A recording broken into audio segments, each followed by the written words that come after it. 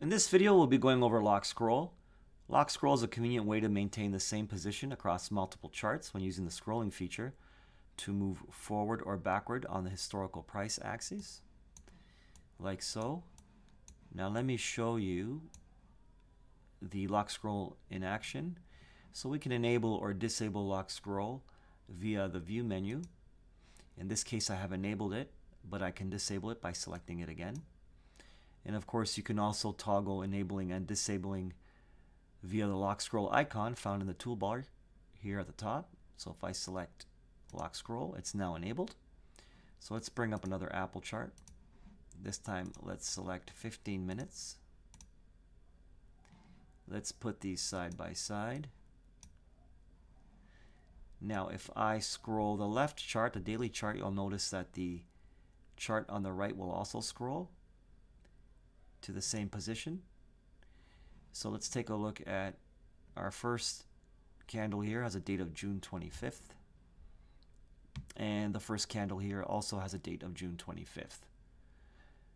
Now scroll lock will work for any charts that are on the same page or for any charts that are linked to the same color. So for instance, if I were to select a different layout here,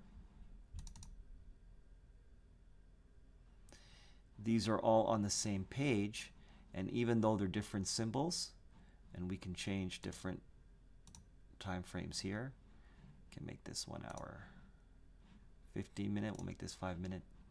You'll notice as I scroll one the others will scroll.